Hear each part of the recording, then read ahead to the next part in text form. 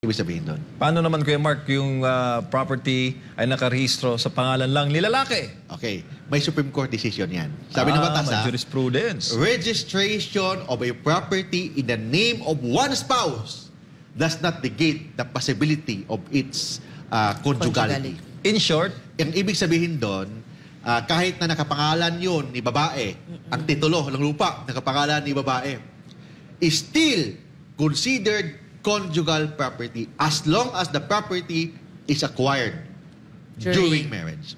Kaya dito tayo nagkakaproblema. Maraming diba, mga nagtatanong, Kuya Mark, Ah. or yung mga ganitong aspeto na ah, yung namatayan, pag Ah. niyan namatayan na, eh bakit daw yung property nakapangalan naman daw sa tatay or sa Ah. nanay solely? Pero pag na-prove yan na Na-acquired. na-acquire ah, during the marriage, kahit the next day yan or after after right after the kasal, Yeah, yes, 'di ba? Ah, considered na po yan na conjugal at yun yung hatian-hatian na Normally, yung mga, sa tit- ano. yung mga title nakalagay Oo. doon, uh, Pedro married to Oo. Maria. Hindi naman nakalagay doon, spouses Pedro and Maria.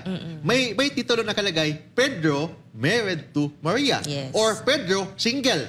Nakalagay. Oo. Is it considered conjugal property? Depende.